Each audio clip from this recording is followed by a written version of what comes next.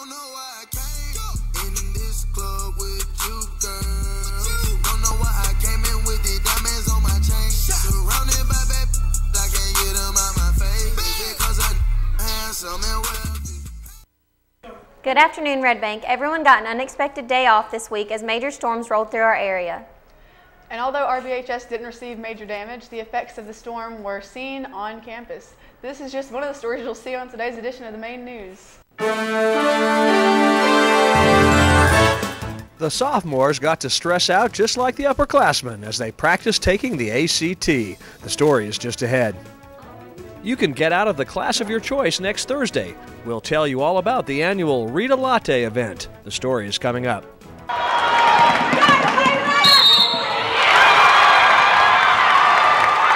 Fresh off their district championship, the Lady Lions basketball team charged into the region tournament. You'll see the highlights coming up in sports.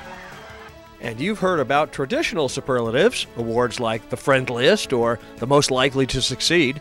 Well, our Mane News staff gave out some non traditional superlative awards. Miss Keith, congratulations on winning the most likely to volunteer to move to Mars as part of a co- interstellar colonization experiment award. And that's true. Don't miss this video, it's coming up a little later in the show.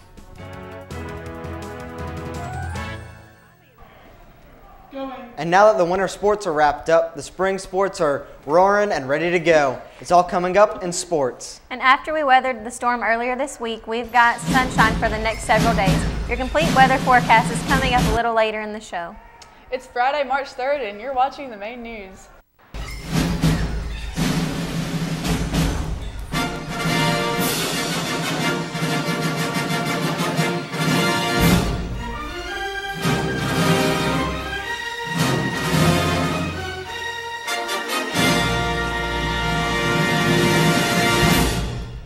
And you are watching the Mane News.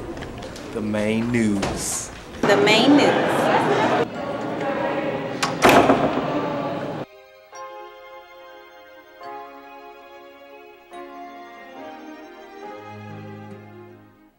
Time in the last four weeks, RBHS got a day off in the middle of the week.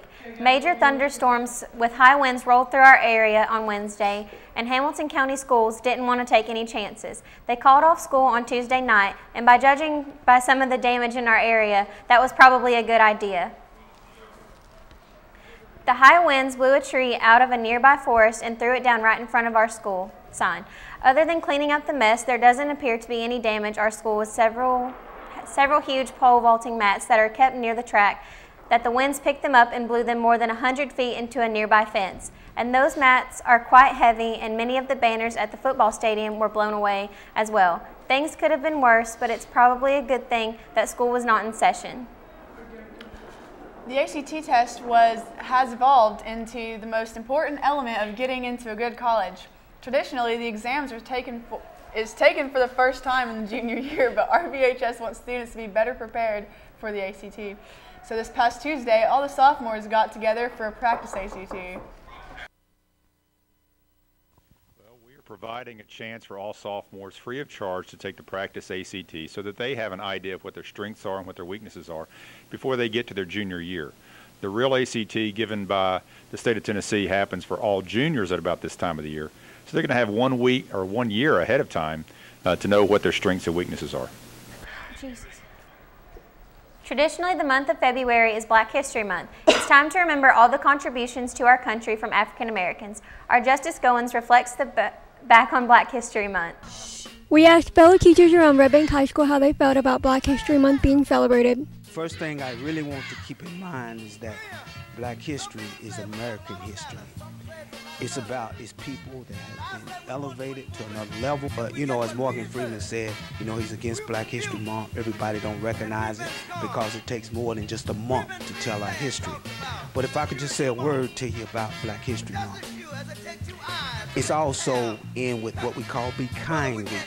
And if I could uh, say a word for Red Bank to recognize Black History Month, I would want everyone to be kind to one another. In commemorating Black History Month here at Red Bank High School, I would just like to say that if you see an injustice, say something. Because an injustice anywhere is an injustice everywhere. Peace. I think that it's a wonderful thing. I think that our races should know about Black History Month. I think that they should know about the history that blacks and whites went through to get us to the point that we are here at Red Bank because everybody gets along and I love it. So I think it's an awesome thing. Say it loud!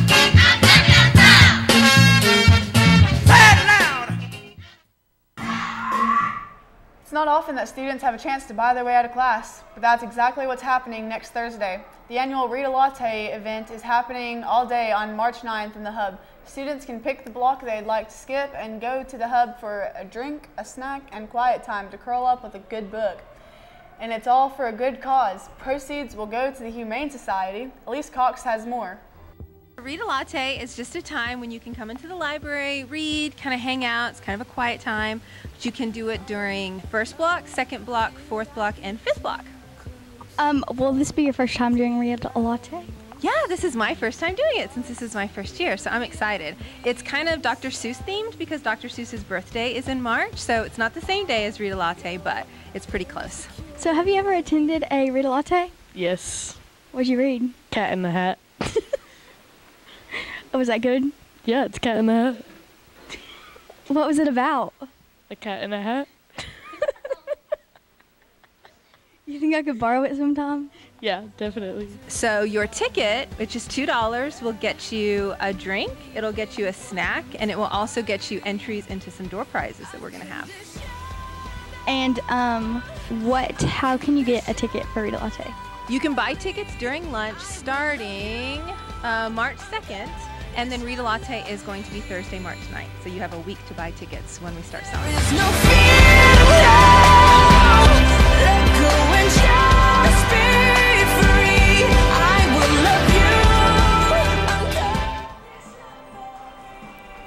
Now, if you go to read a latte, you'll need something to read, and the library has just received a ton of new books. We got we went to the Hub Master to get the scoop.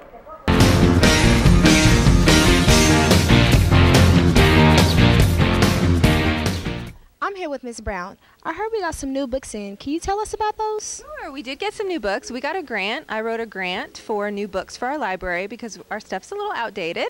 So we got a grant for $5,000. So in the last two weeks, I've spent $2,500 getting new books in. So the boxes are rolling in. So you'll hear more about our new titles and everything soon.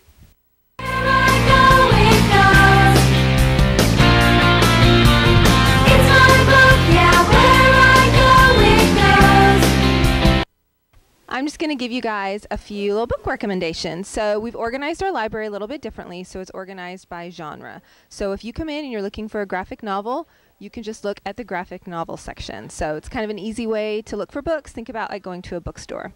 So I have a few I wanted to talk about today. The first one is a graphic novel called Maus. This is a really good one. So this graphic novel is called Maus. It's a great graphic novel all about the Holocaust and kind of what it was like to be in that time period. It's a really good one. There's actually a two-part book, so there's book one and two. This is book one. So if this sounds interesting to you, come by and check it out in the graphic novel section. This one is called Shatter Me. This is a series. There's three books in it. We have them all now because we've gotten some new books in. So this is a post-apocalyptic world. Things are kind of crazy. Some people have different abilities, and unfortunately for this girl, she cannot be touched. If someone touches her skin, they die. So it's kind of about her dealing with that and also learning more about her world and maybe she can be touched and she just doesn't know it. So if this is something that sounds interesting to you, come by and check these out as well. These are in our sci-fi fantasy section. And the last one I'm going to talk about today is a book called Speak. Some of you may have read this book before. This book is realistic fiction, so it's like something that would happen to us. Something very bad happens to the main character, and she has to live through it. It's a tragedy, um, something that quite a few people have dealt with, unfortunately, in their own lives. But it's a great book. It's about how she learns to find her own voice again, speak up for herself, and kind of be a person again. So it's called Speak, and again, this is in our realistic fiction area. If you've sa- if any of these books sound interesting to you, come by and check them out. Thanks.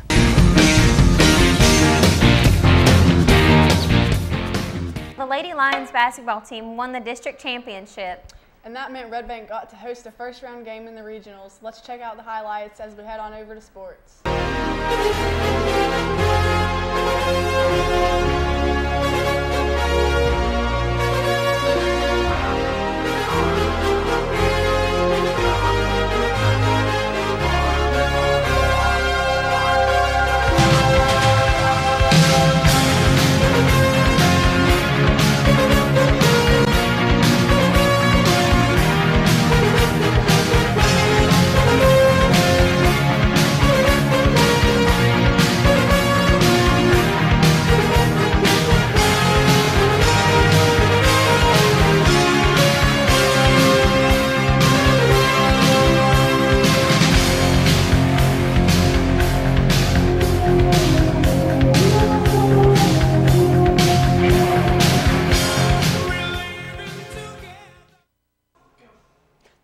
Lions basketball team didn't get to enjoy their district title for very long. After three days of winning the championship, they were, re- they were playing in the region tournament. Red Bank was to take on Sweetwater, but at least the girls got to play at home, and that fired everyone up. Let's check out the highlights. Here, number five, Shelby Romans is driving. She drains, she draws the defenders and then makes a nice pass to a wide open Haley Claiborne, cutting to the basket. That's an easy two points for Red Bank. Now watch the quick passes. Layla Babb will pass inside to Maya Kinnabrew, who kicks it right back out to double O Jasmine Roberts, who promptly swishes the three pointer. Nice play. Later, Red Bank is on defense. Sweetwater tries to drive the hoop, but number 13, Haley Claiborne, says, Not in my house. She gets the big block, and then the Lions are off to the races. Layla Babb leads the fast break, but the shot won't fall. Neither will the putback.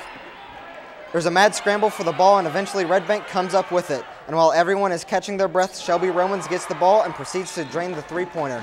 Coach McGinnis says three points are better than two. Now watch the great ball movement. It's Shelby to Jasmine to number 23, Maya Kinnabrew, who hits the nice jumper in the paint. Maya had 16 points on the night. Red Bank would lead 28 20 at the half. Now the second half would belong to number three, Layla Babb. Here Shelby drives and then kicks it out to Layla, who puts up the three-pointer. Swish. A few points, a few plays later, it's Layla Babb with the ball at the top of the key. She stops and pops, and another tray for Layla. Later, number three is leading the fast break. She is fouled as she shoots, but the, but the ball goes in. Layla would sink the for the three throw for a nice three-point play. The cheerleaders were fired up. Red Bank kept pounding away. Here Shelby finds Haley Claiborne in the corner. It's another three-pointer. Red Bank made seven trays on the night. They go on to roll over Sweetwater 67 to 47.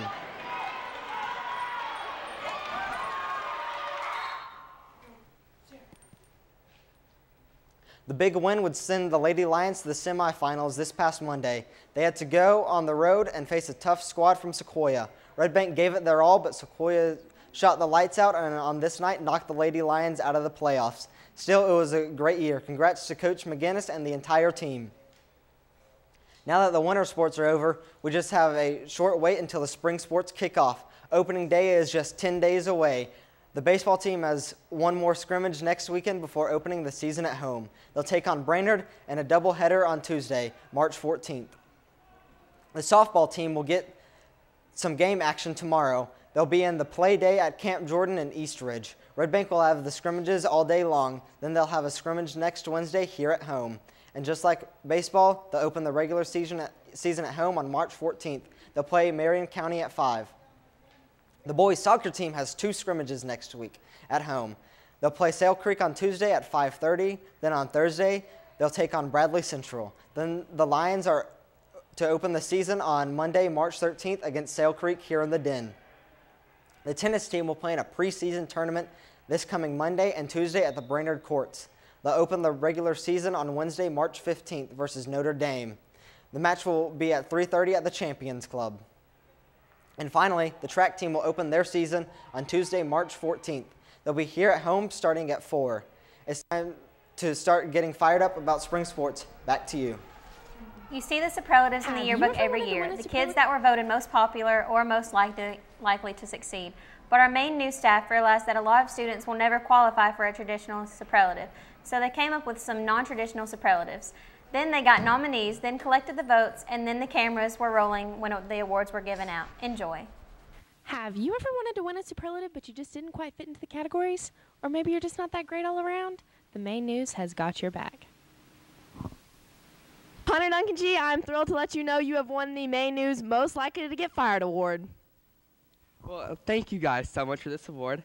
I was going to thank Edward from Showtime Pictures at the Tennessee Aquarium. Thank you for firing me last week. It was a pleasure working there. Um, thank you, uh, Red Bank, for voting me and helping me realize my dreams of being fired the rest of my life. Peace out, Red Bank. Thank you. Congratulations to Emily Leck for being the Mane News's Most Likely to Get Fired award. Thank you. Even though I quit my job, I didn't get fired. Miss Keith, congratulations on winning the most likely to volunteer to move to Mars as part of a co- interstellar colonization experiment award. And that's true. Would you like to give us your acceptance speech? Uh, as I said, I'm so excited. You have to be 50 years or older to go to Mars and, and highly intelligent. I know I won't come back, but I'll miss all of you. I will wave when I get to Mars. We will look at the rocks and the sand. I will miss my Diet Cokes, what I'm giving up for science. But thank you so much. I love this award. Actually, it's one of the best I've ever gotten. So thank you, Red Bank High School. Jeremiah Welch, congratulations on winning the Mane News' biggest flirt award. Would you like to give an acceptance speech? Nah, I'm good. No, you have to give an acceptance speech. Uh, uh, thanks. I'm a flirt. Thank all the women that you flirt with. They got you this award. That's crazy. I'm not accepting. that. Aja Pouncey, congratulations on winning the Mane News' is most likely to survive the Hunger Games award. Yes. I'm so excited. It's my second time. That's all I have to say. You don't want to give a thanks to anybody? Um, thank you, Samantha, for coming up with this award. I know you got it off of Twitter. Um, also, I want to thank God. It wouldn't be possible without you. Congratulations to Talon Hall on winning the Mane News' is most likely to survive the Hunger Games award.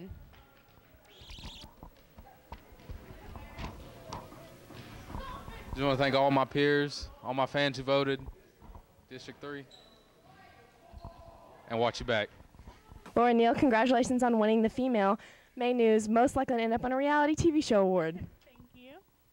Um, I want to thank everyone who voted for me, and mm, more, most likely my mom because that's who I get my personality from, and she's probably why I won this. Thank you guys. Congratulations, Alan Tate, on winning the most likely to end up in a reality TV show award. I'm glad y'all knew. Glad y'all knew. Somebody nominated you and you got voted for. Really? Thank you. Thank you so much. Y'all, I just want to thank y'all so much for this award. It just meant so much to me. I'm glad y'all always knew that I was going to make it big. I want to thank God. okay, I'm done.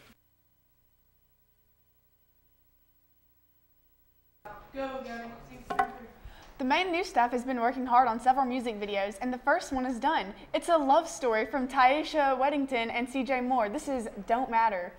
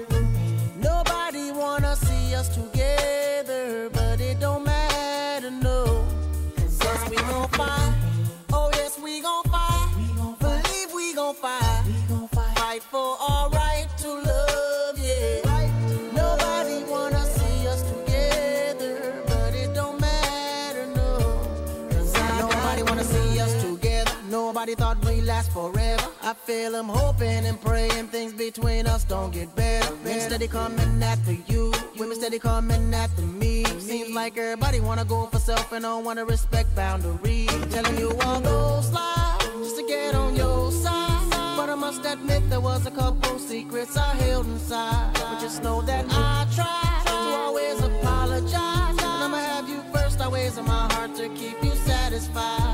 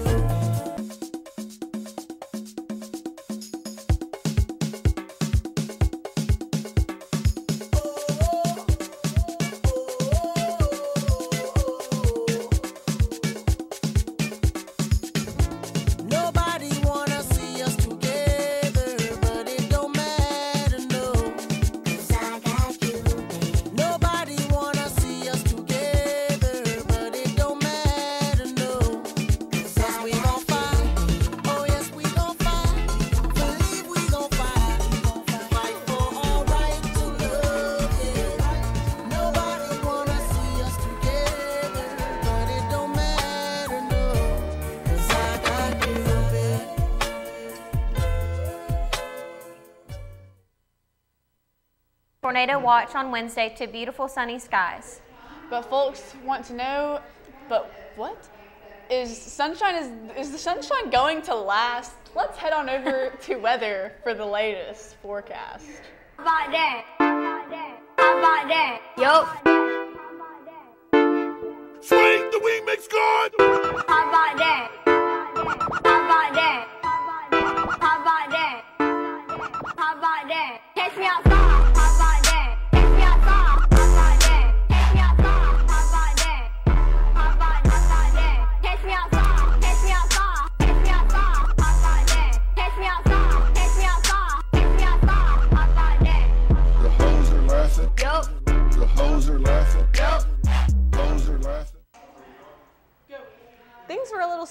On Wednesday as our entire area was under a tornado watch, but sunshine should be the norm for the next several days. Let's look at the numbers.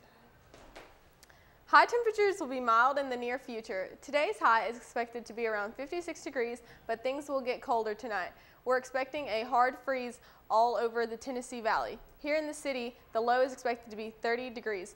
As we look at the five day forecast, temperatures will gradually rise as we head into next week. Highs on Monday and Tuesday will be around 65 degrees.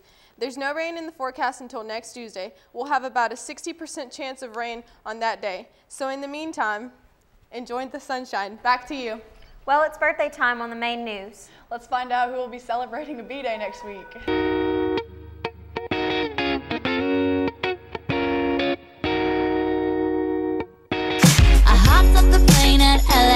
With a dream, my cardigan.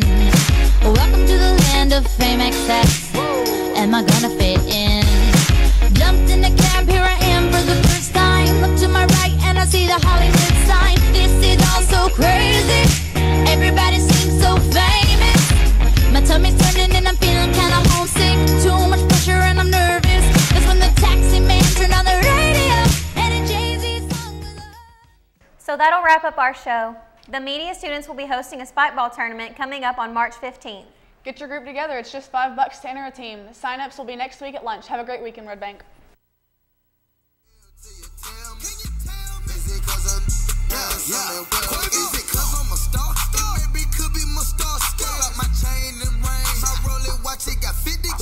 It could be QC or even maybe